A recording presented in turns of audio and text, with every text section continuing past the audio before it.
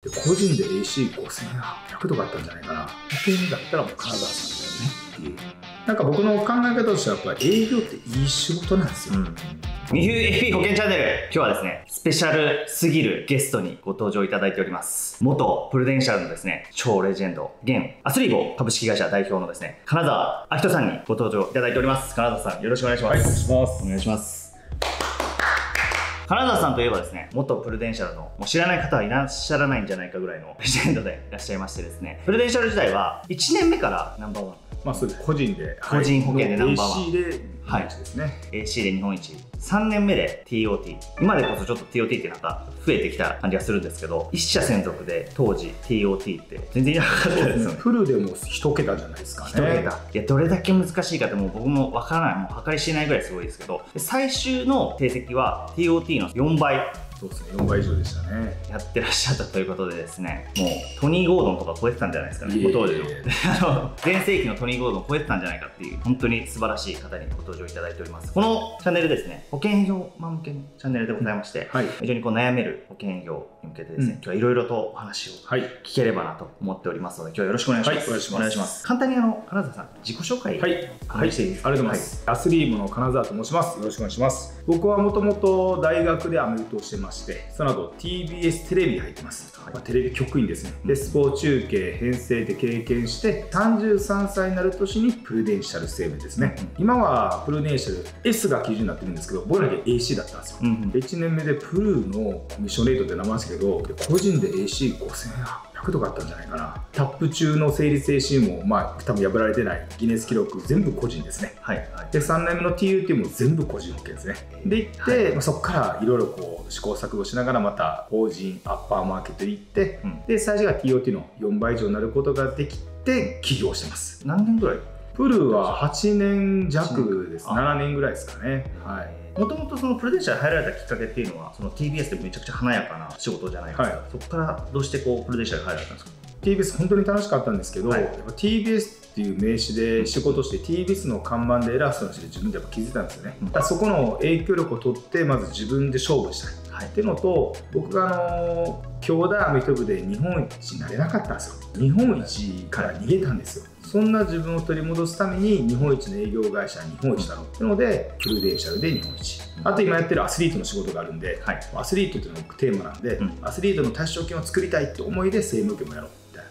まあ、いろんなものが重ね合ってですね、はい、はいこの当時プルデンシャルに転職されて1年目ってもういきなりナンバーワンになられたと思うんですけど最初からすごいなんですかうまくいってたんですか？いや結果としてはそれなり、でも始まって半年ないとかもう大変っていうか焼け野原ですよ、うん、振り返ったら、はい、紹介も出ないわ着信拒否食らいまくるわ、はい会ってくれないわ、うん、赤坂 TBS なんで歩いてたら僕を見かけたやつらが逃げていくわ。そうなんですか。まあまあそういう本当にザ保険の営業マンとしての失敗を繰り返しましたね、えー、それでなんかトライアンドエラー繰り返しながらやってたっていうイメージですか。まあ気づいたって形ですね。最初僕もやっぱ自分の営業成績のためにやっぱ保険を売ることが目的だったんですよ、うん、いやでもやっぱり目の前のお客様に喜んでもらう貢献する、役に立つ。それでこう信頼という資産をいかに積み上げるかっていう発想に変わってからうまくいきましたね、えー、じゃあアプローチ方法とか会って話すことってやっぱり全く変わってくるまあ、プレゼン自体は変わらないですけど、はい、スタンスが変わりますね、うん、要するにこう売るんじゃなくて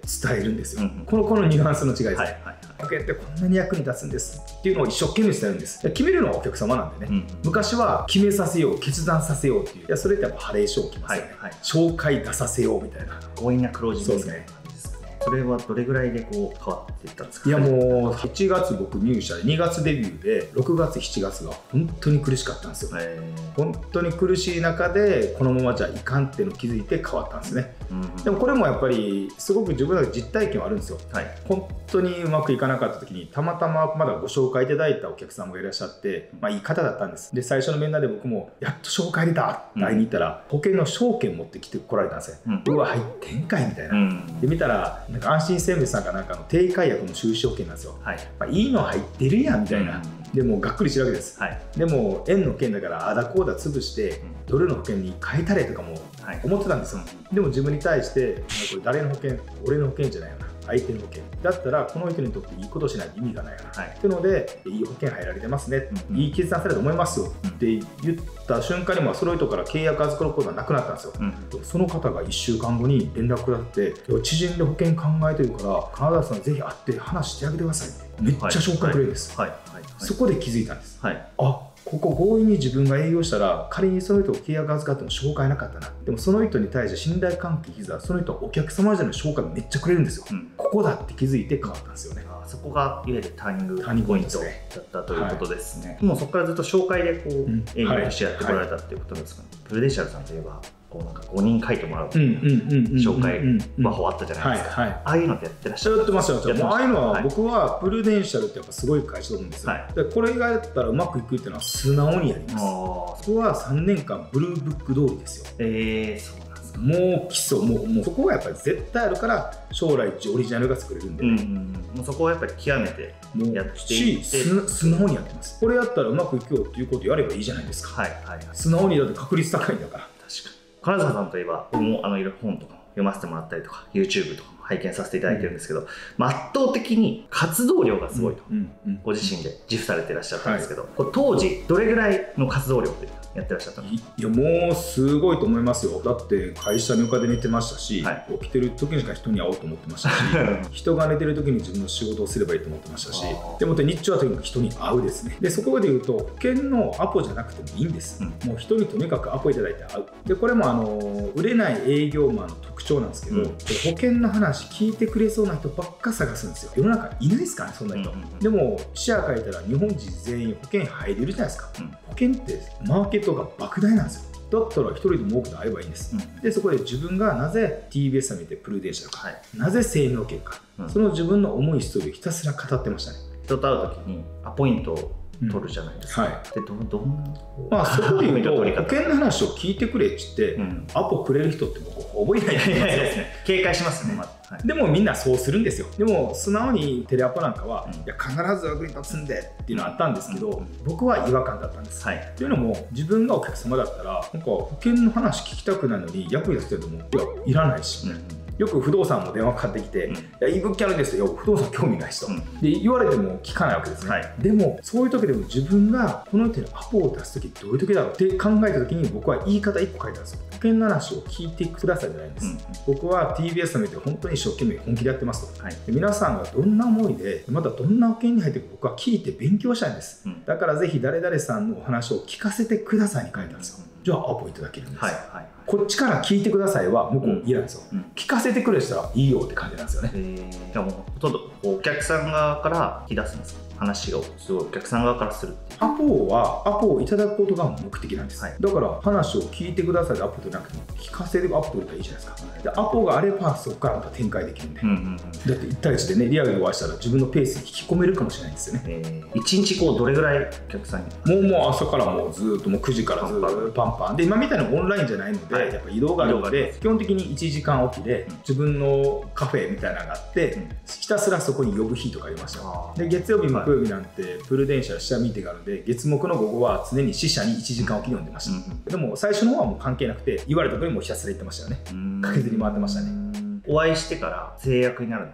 ってこうやっぱり時間がかかったりとか割合で言うとやっぱりどれぐらいになるんですか？僕はでも実は長い方なんですよね。制約まで？はい。これ何が正しいかじゃないと思うんですけど、はい。僕は貧乏症なんですよ。うん。せっかくお会いしたのに、うん。よく2回3回でねクロージングしなきゃいけないととらわれて、うん。お客様を逃すよりも僕は接触回数がしましたね。3回で決めなくても4回目ちゃんとアポ取ってました。はい。その代わり次回は決めましょうみたいな感じで、うんうんうんうんで僕自身がもうアポめっちゃ入れてたんで、うん。1回あったら次のアポがやっぱ3週間いかずだったりするんですよ。だから結構長かったです。その代わりも手帳見して僕はこれだけアポを入れて動いてますって見せてるんで向こうに心理的にキャンセルしにくい環境を作ってましたね。それだけ忙しい方の 時間をもらってるんだからキャンセルできないよねっていう。感じですこれは演出です。向こうがむしろお忙しいとかありがとうございますっていうふうに言わせるぐらいのうん。スタンスですね、はい金沢さんもナンバーワンになられてその TOT にもなられてもうすごい成績なんですけどいわゆる行き先というかマーケットっていうのは結構絞ってたんですかいやそうなんですよ。僕だって1年目さ最初の3年間も個人保険のみだし TOT の4倍とかやってる時なんてまあ超富裕層いっぱいお客さんいるじゃないですか、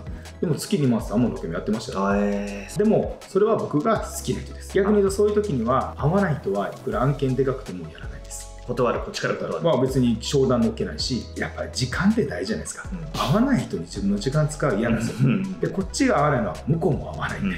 日本って1億人いるんですよ。はい。こんだけマーケットなのに合わない人追いかけてどうすんのみたいな。で僕はそういうスタンスです。確ってのもはい。こういう話もお客様に言ってました。僕はこびない。その代わりサービスはする。うん僕は好きな人にはとことん出ししていろんなサービスしますよその保険以外にもやっぱり結構やっぱり貢献されてらっしゃるんですか、でむしろ僕は保険だったら金沢っていう作ってるだけなんですよね、うん。結局超富裕層もそうですけど一般の人もいや何かあったら金沢さんに連絡すればいろんな会議室が持ってるよっていう状況を作ってましたね、うん。だって保険って仕事を先ほど言いましたけど業界業者全員に会えるんですよ。だからいろんな人らを知ってていいんです、はい。はい。だから僕に言えばその人の4次元ポケットかのようにその人の会いたいところを出せるわけですよね。だから困ったら金沢さんに連絡すれば不動産のことだって何だって解決策を持ってるっていうので貢献していくと保険だったらもう金沢さんだよねっていう実際制約になるのってお会いしてから何年先何年後とかも絶対あり全然あります。もうそういうもうひたすら種まきというか。金巻きですね制約しながら種まきしていくっていう。あと細かいのちゃんと拾って連絡もするし、うん。でやっぱ SNS 便利じゃないですか、うん。つながってればいいよするんでね、でこっちがやってるのを見てもらえるし。感覚的には例えば皆さんだって家に車のチラシが入ったら、うん。興味があったらするじゃないですか、うん。でも車買いたくなったら目に入るじゃないですか、その時に一番最初に目に入る存在であることなんです。うん。今は保険はってなってても保険ってなった瞬間に一番最初に選択肢が存在がある、っていう風な感覚でしたねでもその代わりきれいごとにで短期の結果見るんですよ、うん。そこはもう母数ではい。合ってる母数が確率で案件化していくんですね、今でこそもう金沢さん超有名で金沢さんに商談してもらったらお客さん側が絶対決めると思うんです。それはもうすごい影響力ありますしもう今までの実績がこう物語ってると思いますので。ただ保険業って結構そこまで上がるのが結構大変というか、うんうんなので1年目から例えば3年目の動きと、まあ、5年目から10年目とか10年以上って結構動きというか変わってくると思うんですよね、うんなんで、まあ、結構見てらっしゃる方とか1年とか、やっぱ3年以内に辞めてしまう方多いと思うので、まあ、どういう動き方したらいいのかって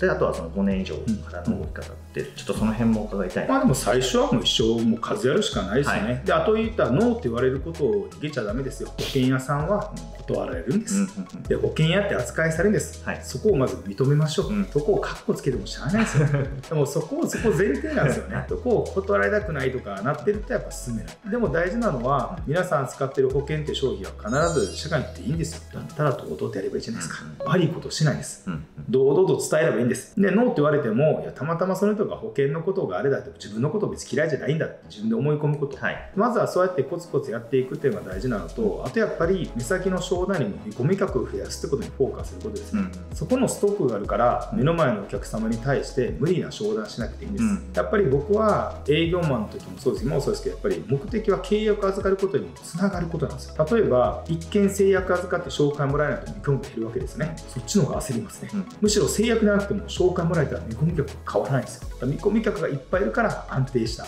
営業活動ができるんで。だかうん。ら見込み客増やすにはやっぱ会うしかないんでね。会い続けていって。それをうろうろとすると会ってくれないんですよ、はい。まあ、伝えるってスタンスとあとはやっぱり相手の記憶に残ることなんで例えば保険の営業マン一生懸命保険のプラン説明しますと。ここのこの保険はこういう保証でこうですとか。こんなんで明日なんか忘れてますよ、うんそれよりもなぜ自分は保険という仕事を選んでるのか。なぜ自分はこの会社なのか。そういった重いストーリーって記憶に残るんですよ。そっちの方がお客様にとって絶対プラスですから。ストーリーを伝えるっておっしゃってましたけど、まあ、なんでこの仕事をしてるのかっていうのを、まあ、伝えるのが優先っていう絶対そうですね。だって僕のプレゼンなんて全く面白くないですよ。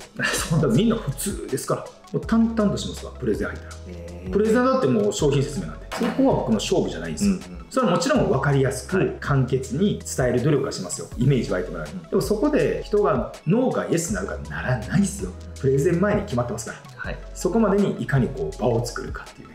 もうこの人から入るって思っててあとはじゃあ金額の問題だなうん。プランの問題だなうん。ぐらいのとこですね、徐々に TOT になられて TOT4 倍になられてっていう。おそらくその1年目から3年目とかのめちゃくちゃすごい活動されてたよりだんだんちょっと時間も空き出してるってタイミングがあったと思うんですけどどのぐらいのタイミングからその、まあ、金沢さんも紹介されたら決まるみたいな、いやでもそこでいうと活動量変わってないですよね。あそうなんですか。保険のはい商談の量は変わりました、あ最初の3年間はもう全てのアポがほとんど保険のプレー OI とかね何かしらだったんです。よ、でも3年目からこのままの働き方厳しいなっていうのでマーケット上げられたっていうので、チャレンジしてみてで自分なりの型を作っていくんですけど、最後もこうも人にはずっと当てるんです。ただ保険っていうよりもお互いのストーリーを交換するとかなんかそういったアポが多いですね。でそれがいっぱいやってる中で確率で案件いただける。うん。大きい契約なんて本当3年4年前に会った人が急に連絡くれたりとか。でもちゃんと接触してるんですよ。うん。っていうのはやっぱ作ってましたよね TOT になられて徐々にそのお客さんの層も少し変わってきたのかなと思うんですけど、まあいわゆる超富裕層一流企業の経営者だったりとかとお付き合いがたくさんあると思うんですけどやっぱりみんな徐々にそうやってなっていきたいなっていう気持ちはやっぱり少なからずあると思うんですけどそのあたりってこうどう違うのかな同じ人間だと思うことですよね、はい。よくなんかドクターマーケットに意外と聞いたら、うん。ドクターはなんか頭がいい偉い怖いとか見るじゃないですか難しそうなんですよ。いや同じ人間ですから。でやっぱりそそこを自分で思うしかないですよね。臆さないというか。臭い、はい。そこを堂々とやるっていうのと、うん。やっぱり影響力の掛け算でうん。一、人そういう影響力でこう出会った時に、うん。僕はその人をお客様にしようと思わなかったんですね。周りにいっぱいいるわけですよ営業もないですよ。ねそんな保険の話は聞きたくないんですよ、うん。保険の説明なんか。よりもその人といい時間を過ごしていることでその人を一緒に食事行ったりゴルフ行けることが僕の影響力を増すんです。あの人とちゃんと付き合ってんだ。うん。だからその影響力で他の人が会ってくれたりうん。していくわけですよ、うん。でその連鎖反応なんですよね、うん。で自分が例えばあのゴルフ行きましょう来てくれない人でも誰々と一緒に行きませんか？って来たりするわけですよ。はい。影響力を借りてましたね借りて、まあ、紹介してとかそうですね。人のいる場所に呼んでとか、うんそういうことですよだって交流会なんかも名刺交換保険やってみんな名刺があなるじゃないですか。なりますね。だから主催者に紹介してもらうんです、はい。わざわざ主催者の方にちゃんと紹介してください。で主催者から「いや誰々さんこの人こうで言ってもらったら主催者が紹介あるからまた個別でアポいただける可能性高まるじゃないですか、うん。無限には使えない主催者の影響力を借りるんですそういうのも意識的にコツコツやってましたよ、ナチュラルじゃなくてちゃんと計算してというか、まあ、ロジカルそうにですね。自分の中でこの人がもう一回会ってもらう感情にするにはどうしたらいいんだろう。はい。っていうところで確率が高いことを選択してましたね、ん。ちょっと話は変わるんですけど今はどういった活動をされてらっしゃるんですか？アスリート。はい、今は僕はもう引退したアスリートをスポーツ界でいかに収益化するか稼ぎがするか、まあそういうビジネスやってます、うん。1個が本当にレジェンドアスリート野村忠宏さん伊達公子さん古田さん塩鳥の肖像を使っていただいてそれが未来の制度社会貢献活動もあれば、うん。今僕がやってきた営業っていうマインドセットとかいろんなものを今うちの頑張ってる元アスリートの社員に伝えて要ライズアップ的に皆さんに伴走していこう。うんっていうのをやったりしてます、でも人材とかコーチングというかそういうまあのもそうですね。やってらっしゃるんですか。ねなんか僕の考え方としてはやっぱり営業っていい仕事なんですよ、うん。でもいい仕事になるには結果出ないと幸せになれないです、で全員が結果出ていい仕事なんです、でもなんかこうちょっと考え方1個でうまくいかない人たちになんか営業でいいな営業でしやすくなるなっていう人を増やしたいなと思ってます。ね。金沢さんから、まあ、保険の営業マンもいろいろ話聞きたいなとか教わりたいなって思ってると思うんですよ。そういうのはやってらっしゃらないですか？まあ僕が直接は数少ないんですけど、うん。その僕がまあ鍛えたやつが伴走してるからですね、はいはいで時々僕が個別質問に答えるグループセッションみたいなのやってますね、えー、そういうのはどどうやったら申し込める？公式 LINE ですか？ね公式 LINE はい公式 LINE ですね、はい、金沢さんの公式 LINE で限定動画なんかも出せればなと思ってますちょっとうちの方にも出させていただきますので、まあ、2つちょっと登録いただけると さらにちょっと具体的ななんか営業のアプローチ方法だったりとか、まあ、紹介和法だったりとかそういったのもですねあの学習させていただければと思いますので、ぜひ LINE 公式登録してください。であとあのコラボセミナーをですねはい。ちょっと計画しておりまして、はい。12月、1月、まだちょっと日付確定してないので、ちょっとこの動画が出る頃にはテロップではい。出させていただきますので、ちょっとぜひ盛り上げさせていただきたいなと思ってますので、よろしくお願いします。はいはいまあ、最後にですね、今頑張ってるうん保険営業マンにですアドバイスとか、ちょっといただけると。はい、ありがとうございます。で僕自身、保険の営業をすることで大きく人生変わったんですよ。っていうのもやっぱ考え方が変わりましたね。出会う人も変わった。うん保険の仕方は本当にいい仕事です。うんだから僕がやってきた、その例えば僕は言葉尻真似してもうまくいくと思わないですけれども、どういうことをしてるとか、それは全部いくらでも開示することができます。だって保険って全員成功できるんですよ。だって日本1億人いんだからで年間100人の契約預かったり余裕で MDRT じゃないですか。腐るほど人いるんですよ。取り合いじゃないですかね。だか僕は皆さんが一緒に幸せになればいいと思ってるところにまあ惜しみなくできればと思いますしただやっぱり甘くないと思います。っていうのもそのブレイクスやっぱ脳を乗り越えなきゃいけないんですよ。でも脳から逃げちゃいけないです。だって皆さんやってることを相手の役に立て正しいことですか。ただ堂々とやればいい。で保険の営業マンとバカにするようなやつらは保険の営業の仕事できないですから、そんなことの言うことどうでもいいですからね。自分の仕事に誇り持ってとことんやりまし保険とか本当に僕今経営者だと思いますけど今の方がよっぽど自由ないですからね。保険の営業マンほど自由な時間と付き合うとかあといい意味でキャッシュフローとかないっすからね。本当にせっかくいるんだったらそうなった方がいいと思いまあすそこに出したら僕も惜しみなく協力できればと思ってますので、はい。はいぜひちょっと、これからもいろいろと第2弾、第3弾と出ていただいたりとか、セミナーでもぜひよろしくお願いします。はいお願いします今日は貴重な時間ありがとうございました。はい、こちらこそありがとうございます原田さんでした。ありがとうございました。ありがとうございました顧客フォローって大変だよね新規顧客の開拓にばかり時間がかかってそんな悩みを解決するのがつなぐんです毎週更新される金融 FPK のアニメーション動画で顧客フォローが楽しく簡単に続けられます。しかも LINE 公式アカウントから一斉送信できます。さらにつなぐんでは LINE 公式アカウントのリッチメニュー作成もサポート。自己紹介ページや過去動画も見れるようになります。つなぐんのおかげで顧客からの紹介や追加契約が増えました。月額5980円から始められるつなぐん1年に1件でも契約がお預かりできれば使用料の元が取れちゃいます。つなぐんで顧客フォローを強化し保険営業の成果を上げましょう。詳しくはつなぐんのウェブサイトをチェックしてください。